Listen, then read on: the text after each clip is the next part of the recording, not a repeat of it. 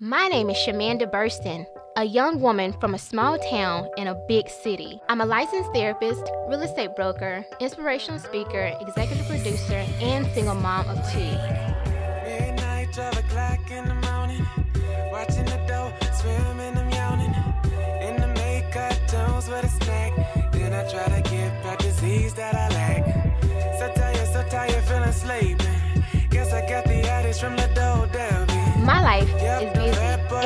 Complicated at times, but I have one goal in life. That is to help people help themselves.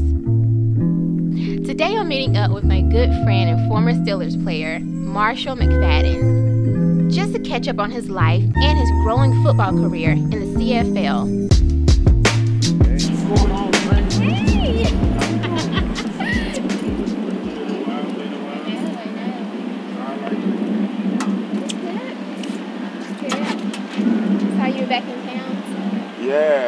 Yeah, actually I'm happy to be back in town with the family. The kiddos, they missed me. I for about six months. So you can only imagine how that was. I couldn't imagine.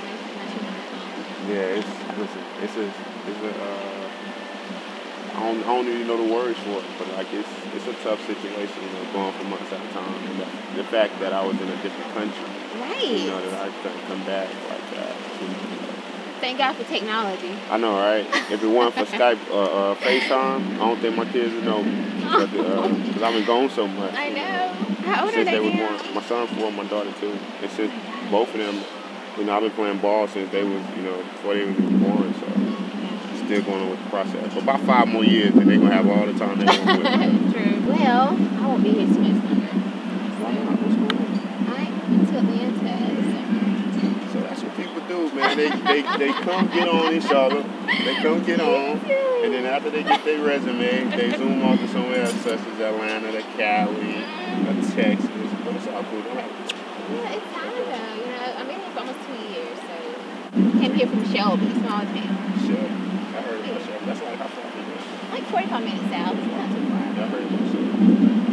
You're from a small town too, right? Yeah, I am. I am small town uh, called Lamar, South Carolina. People probably never heard. I've heard. never heard of that.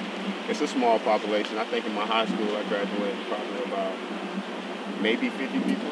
What? Yeah, maybe 50 That's people. I think we got, we bigger than y'all. Oh yeah, yeah, we went in.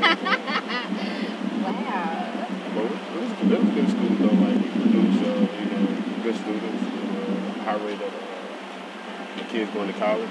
Well, You also a pro ball player, not college, pro ball player, And from a 1A school, that's is wow. is big. You know, to see how small we are. So. How do you feel like you went, went from like small town to like play for the NFL over the years? What?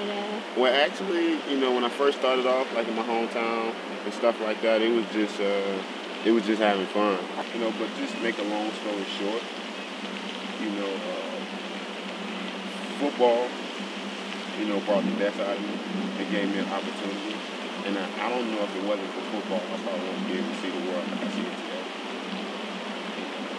Had some people that come in my life at an early age, you know, around junior high, high school. You know, and they're Caucasian people, of yeah. course. And, yeah, I uh, saw that. Yeah, and Your uh, family. yeah, yeah, my mom and my pops, and uh, they came into my life, which you know I had a mom and pops, and you know they did what they could do for me, and uh, I, I, you know, I respect that, and it's still to this day.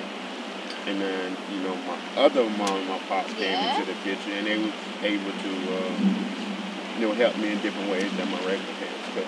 I try to, like, I get young men to ask me questions, and it's like, I can't give them advice from a male perspective. But, Well, for, for young guys, you know, my thing is that, you know, just being in the NFL, you know, being in high school, uh, you know, going through things coming up as a kid. But just from a young guy standpoint, don't think on sports or, or athletics. You know, don't don't do it because it's so much of a small window. And everybody good in elementary or, or high school. You know, and then once you go to college, that circle gets smaller. right. And the circle gonna even get even smaller once you go to the NFL. So being a star in your high school, I mean absolutely nothing. wow. You know, and, and, a, and a lot of kids get, you know, hyped up by people, especially family. yes. You know, my son and my nephew, my get that cousin. Yeah, they're gonna get the. And and kids feed into that. Yeah. You know, and uh, and then once they go off to college, and you got a lot of other kids coming from different parts of the world, just as good as they are, Mhm. and a lot of kids don't know how to deal with that. You know, being not as good as they thought they were. So it end up setting them back. They go through things, and uh, a lot of them don't even make it out. You know, but the ones that do make it out get a chance in the NFL, and the NFL lifespan is two years. What? I didn't know Two, that. yeah, the NFL lifespan is two years. Wow. Yeah, so if you're able to play beyond that, it's a blessing to get you know your benefits and retire, you retire and all that good stuff. What's So luckily plan? for me, you know, I was able to get that. But, uh, actually, my plan, you know, I, I went to play in the CFL last year. Uh, Yes, I saw that. A great experience for me. I think that league 50. You know, uh, I think I'm loved there. You know, I, I like the camar- camaraderie. You know, but at the end of the day, when somebody give you an opportunity to let you go out there and showcase your talent and then embrace it, it make you want to go back and do more. You know, I'm under another I'm under another year contract, and um, I'm gonna go there this year and you know see what I can do. And you never know what can happen to me, and I'm standing over there, I oh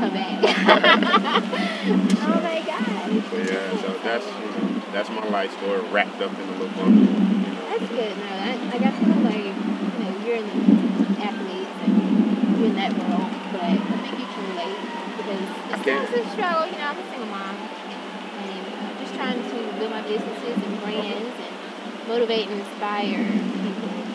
It's all about. You definitely, you definitely do that because I tell you no lie, man. Sometimes I wake up in the middle of the night. Of course, when you when you wake up in the middle of the night, what's the first thing you do? Check Instagram. You check, you check your phone.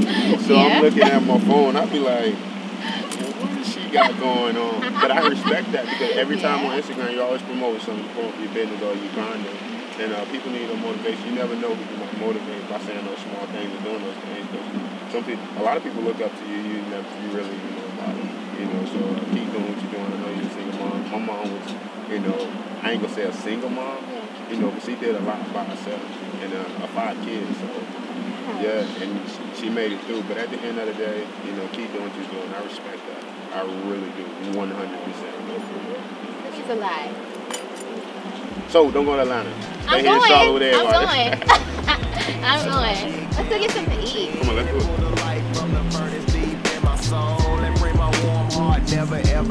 Cold.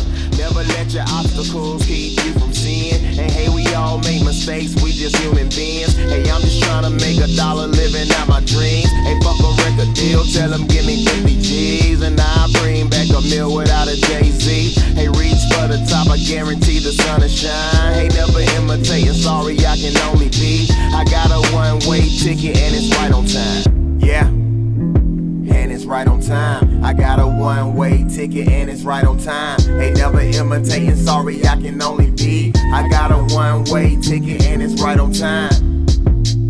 Never let them hold you back. Hey, never ever let these blood suckers hold you back. Hey, never ever let these blood suckers hold you back. Hey, never ever. Hey, never ever yeah, ever. I'm on a mission trying to give my people oxygen. Ain't cause they can't breathe in a world of hopeless men. And so I strip eternal verses with a pencil pen. And girl, you beautiful no matter what skin you in. Never let the chains of Babylon.